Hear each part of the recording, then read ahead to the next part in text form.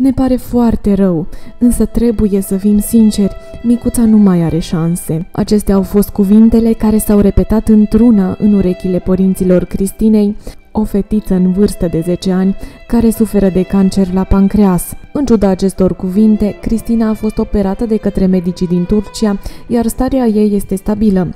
Din păcate, părinții nu au putut achita întreaga sumă de bani pentru costurile aferente spitalizării, având nevoie de sprijinul nostru financiar. Ajută pe micuța Cristina să trăiască și să facă din lumea aceasta un loc mai bun.